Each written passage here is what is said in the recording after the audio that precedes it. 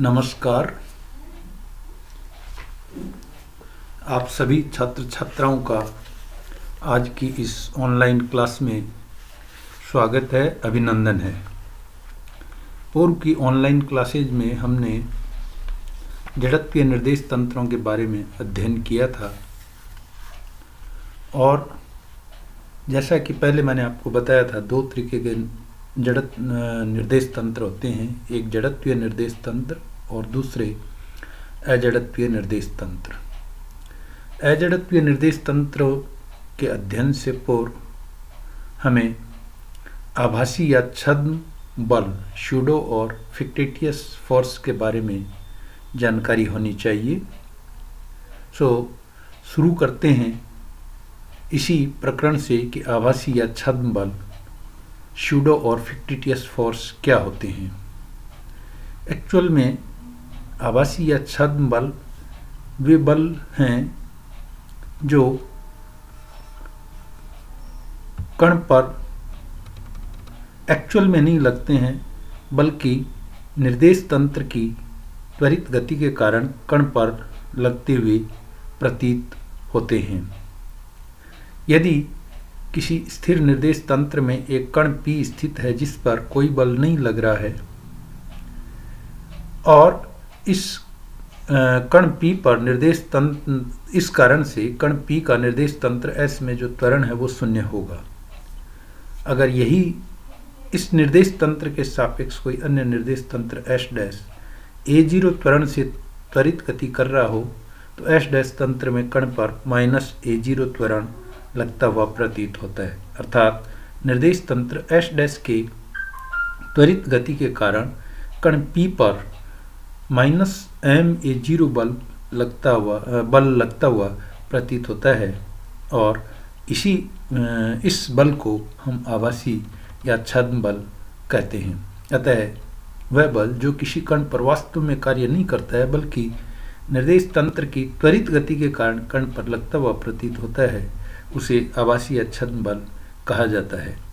ऐसे निर्देश तंत्र जिनमें छद्म या आवासीय बल कार्यरत होते हैं ऐसे निर्देश तंत्रों को अजड़त्वीय निर्देश तंत्र कहते हैं। और इस प्रकार के ये जो निर्देश तंत्र हैं, अजड़त्वीय निर्देश तंत्र, इनमें जो न्यूटन के प्रथम और द्वितीय नियम हैं, ये वैलिड नहीं होते हैं। इनका पालन नहीं होता है। अब यदि कण पर एक्चुअल में ए आर त्वरण लग रहा हो तो उसके कारण जो तंत्र है, उसमें जो एक्चुअल फोर्स है, वो एफ़ आर होगा, जिसका कि मान एम ए आर के बराबर होगा। और एस डैश में कण पर एस डैश अगर त्वरित गति से गति कर रहा हो तो इस कारण जो कण पर परिणामी बल होगा, वो दोनों बलों का योग होगा, जो कि एक्चुअल बल प्लस जो शूडो बल है आभासी बल है, उन दोनों के सदिश योग के बराबर होगा, जिसे हम लिख सकते हैं force F equals two F R plus F A force F का जो मान है वो एम ए के बराबर होगा। एफ़ आर फोर्स जो है उसका मान एम ए आर के बराबर होगा। और फिक्टिटियस फोर्स एफ़ ए जो है उसका मान माइनस एम ए ज़ीरो के बराबर होगा। इसलिए एम ए बराबर M A R minus M A zero और इसलिए हम कह सकते हैं कि ए का जो मान है वो A R minus A zero के बराबर होगा। यहाँ पर माइनस एम ए ज़ीरो ये आभासी बल है, जो कि एम द्रव्यमान के कण पर जो त्वरित निर्देश तंत्र है, उसकी गति के कारण, जो त्वरित निर्देश तंत्र ए ज़ीरो त्वरण से त्वरित है, उसके कारण कण पर लगता हुआ प्रतीत हो रहा है और इसकी जो दिशा है, वो निर्देश तंत्र के त्वरण के विपरीत होती है। आप जो आवासीय या फिक्टिटियस फोर्सेज हैं, उनके उदाहरण के लिए हम लिफ्ट या रॉकेट में जो गति होती है उसको उदाहरण के तौर पर काम में ले सकते हैं।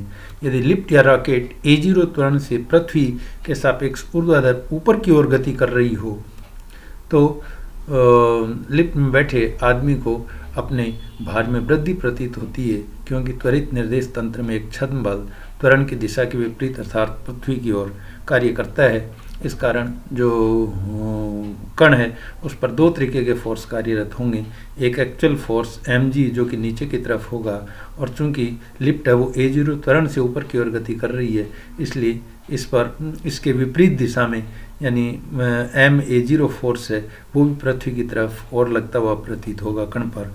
इसलिए टोटल जो फोर्स है, वो M G plus M A zero के बराबर होगा, और चूँकि जो एक्चुअल फोर्स है, वो इसके वास्तविक जो टोटल फोर्स है वो इसके वास्तविक फोर्स एम जी से अधिक है। इसलिए जो इसलिए इसका जो प्रभावी द्रव्यमान है कण का वो अधिक होगा।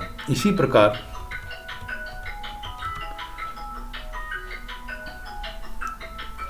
यदि कण, यदि लिफ्ट ए ज़ीरो त्वरण से नीचे की ओर गति कर रही हो तो उस स्थिति में जो कण है अगेन उस पर दो तरीके के बल लगते हुए प्रतीत होंगे। एक एम जी फोर्स नीचे की तरफ़ और एक minus M A zero force ऊपर की तरफ़ और इसलिए जो टोटल फोर्स है, वो होगा M G minus M A zero और चूँकि जो कुल बल है, वो वास्तविक बल या भार एम जी से कम है M G minus M A zero है, इसलिए जो कण है, उस पर कम बल कण जो है वो कम बल का अनुभव करेगा। इसी प्रकार यदि लिफ्ट या रॉकेट पृथ्वी की ओर स्वतंत्रता पूर्वक गिर जाए, यानी स्वतंत्रता पूर्वक नीचे की तरफ़ आ रही हो तो उस स्थिति में एम जी ए ज़ीरो है, इसका मान एम जी के बराबर होगा और इस कारण जो टोटल फोर्स है वो ज़ीरो होगा और इस कारण जो कण है वो भारहीनता की स्थिति में होगा और इसे हम भारहीनता की अवस्था कहते हैं। इसके अलावा दूसरे उदाहरण के रूप में घूमते हुए निर्देश तंत्र, जैसे पृथ्वी पर स्थित निर्देश तंत्र में कोई वस्तु लें तो उस पर तंत्र के घूर्णन के कारण कोरियलिस बल ये तथा केंद्रीय बल लगते हुए प्रतीत होते हैं।